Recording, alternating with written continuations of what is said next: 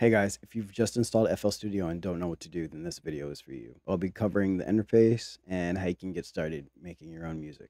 First, we'll start with the browser. You can find your projects, sample packs, and plugins here.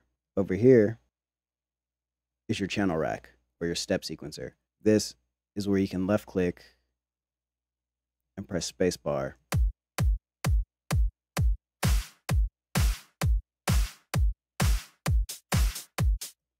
to start making your patterns. Over here, we have our playlist. This is where you'll be putting your song together as a whole. As you can see, there's a paintbrush tool selected already. If you click and drag, you can paint your pattern into the playlist.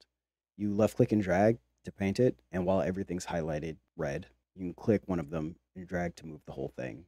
Control Z to undo. Control left click and drag to highlight. And then you can left click and drag. Right click and drag to delete. Same for the channel rack or step sequencer, you can right click and drag to delete. Here we have our mixer. This is where you'll be adding effects to your sounds, adjusting the volume, the panning. If you don't know, that means moving the sound left or right. All that happens in here. I'm going to hold control and press Z repeatedly to bring our pattern back. Now when I press play, you should see the sounds running through the mixer. If you look in our channel rack, you can see how the kick has a 1 beside it, the clap has a 2, and the hat has a 3. If I mute these,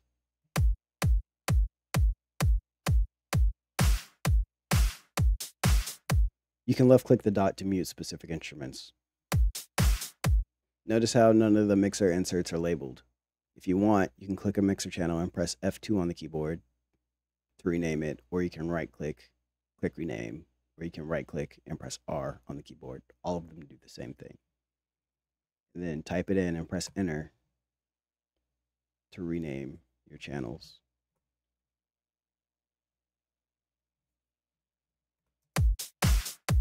It helps to stay organized when you start adding a lot more stuff to the project.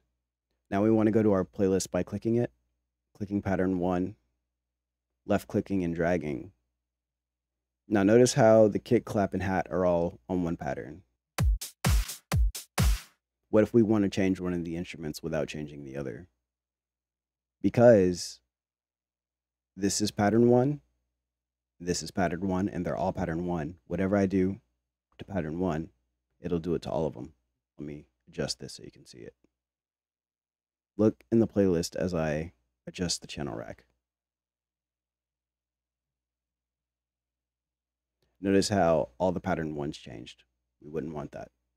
So what we can do, I'm going to delete these real quick by right clicking and dragging. What we can do is click right here where it says pattern one, right click, and then split by channel. What this does is separates all of our instruments and labels them as we have them labeled over here.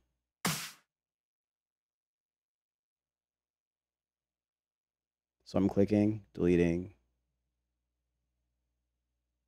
clicking and dragging as we did earlier. Notice how our pattern switches to whatever instrument we click on.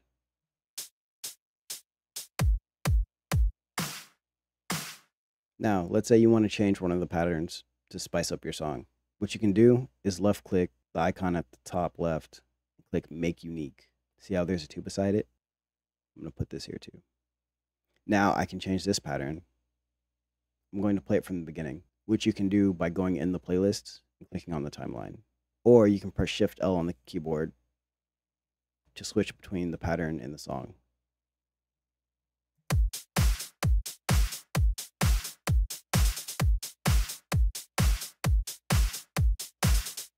If you've just opened FL Studio, you should have these default sounds. But under packs, don't mind these. I have a lot of sample packs. You guys should have this to start with the drums, drums ModeAudio, flex instruments, all that. Go to drums ModeAudio, and you can scroll through the samples to see whatever you like. For example, I'm going to select this one. You can click, left click and drag, and drop over a sample. To replace it, make sure there's a green box around the sample you want to replace, and then let go of the mouse.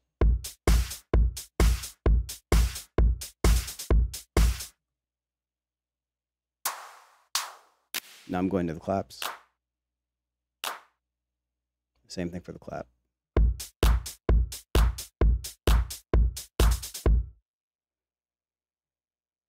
Also in our packs, we have instruments. For example, we could go to keyboard, stage grand, left click and drag into our channel rack.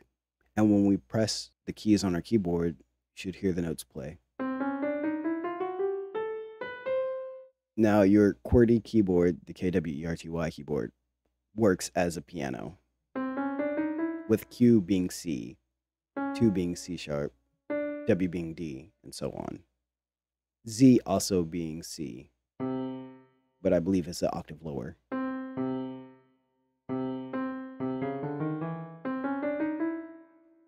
So over here where we see hat 2, click and hold, drag up to open a new pattern. And then you can right click stage grand and go to piano roll. This is another very important section because we've covered the browser, the channel rack, the mixer, and the playlist. Now the piano roll is where you're going to be making all your melodies. So we're going to start with something simple. If you aren't familiar with C major, it's all the white keys on the keyboard. And a chord is basically comprised of every other note. So if I press Q on the keyboard for C5, then every other note would be skipping a note, E, skipping a note, G. You can click in the piano roll and drag your note. If you click on the end, you can change how long the note is. I'm going to switch the pattern.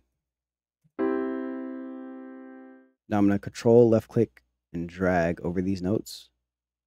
While still holding control, I'm going to press C. Then I'm going to press B. Control V also pastes, but Control B pastes at the end of the previous notes. Here's a quick music theory trick. This is a C major chord. A major chord has a gap of three notes between the first and second note then a gap of two notes between the second and third note. So to make a major chord a minor chord, you just take the middle note and move it down a note. Also, every chord follows a pattern. This is called a C major because it starts at C and follows the major formula. So if I take this down to A, this is now a A major. B major, C major. Now I'm using shift up and shift down to move it. So if you remember this, this will help you get very far in terms of making your own chord progressions and melodies. So I'm going to take this, move it down to A minor. So while this is highlighted, Control C, Control B. And I'm going to move it down to G and make it a major.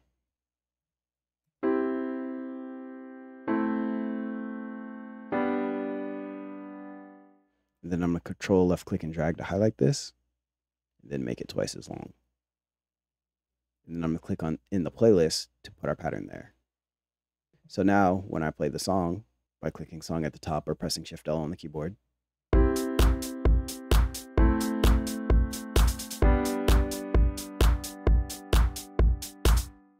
Another important section of FL Studio is the toolbar, which I wanted to cover last. This is where you can save and load your projects, add plugins as well, change the speed of the song. So if I right click this from 130, bring it to 100. You can also left click and drag up and down to pick your speed. I'm gonna put it back at 130. The icons at the top are how you can open and close your windows. So we have the playlist, piano roll, step sequencer, or channel rack, the mixer, in your browser. So if anything's ever missing, you may be accidentally clicked out of it and can't find it, check your toolbar at the top. You can also save your project with Control S, or you can click here, or File, Save, all that good stuff. But the main reason I brought this up is I want you to go to Add. Over here is where you have your generator plugins. There's two types of plugins. There's effect plugins, which affect already existing sounds, and generator plugins, which generate sounds or create sounds. But we're going to go with Flex. Here we have Flex, and it has presets. So you can click through them, see what you like.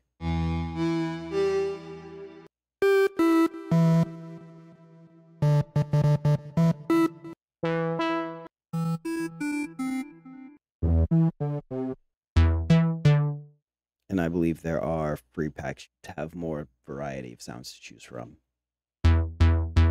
So let's go with dark chocolate. If I right click dark chocolate and go to piano roll, there's this icon at the top called ghost notes. Turn this on or turn it off. This is useful because you can see what is also being played in the other instruments in the same pattern. We can see what notes we're using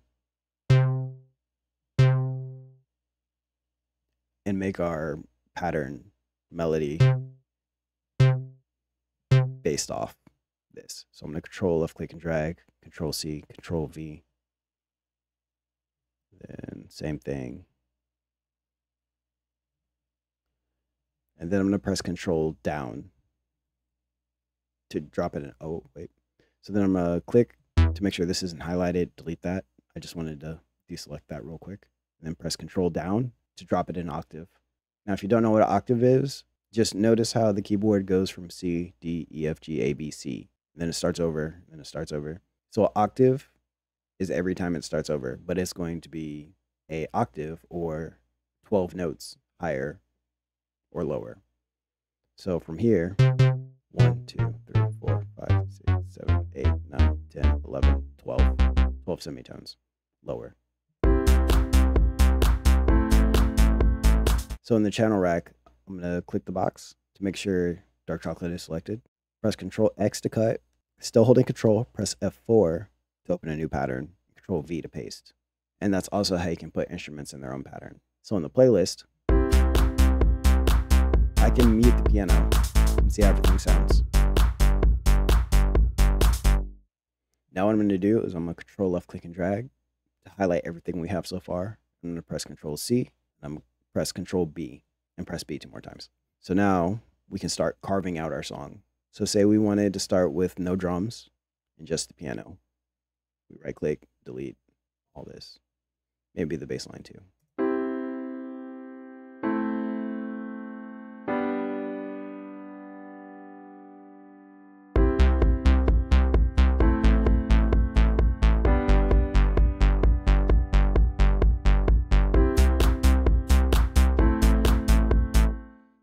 Now we have a start.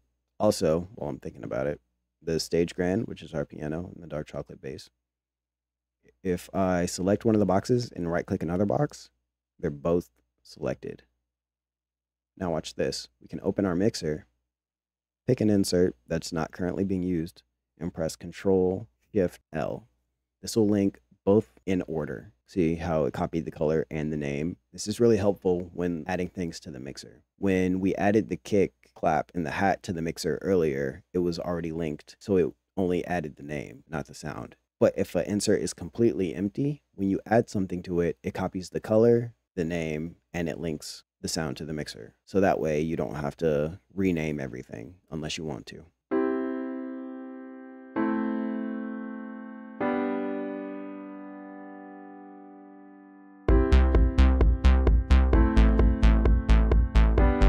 Say we think the bass is too loud. Over here, we can adjust the volume. So I'm going to click in the playlist to fast forward to where the bass comes in.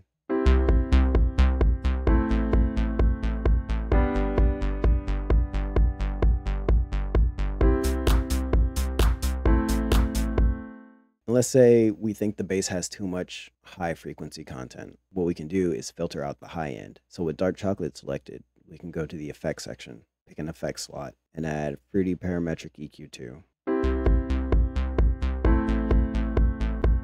Now to make a low pass, you want to click this icon at the top, top right in the blue section, click and drag it until you see this shape. This is a low pass. Click the dot beneath it and drag to tighten the curve.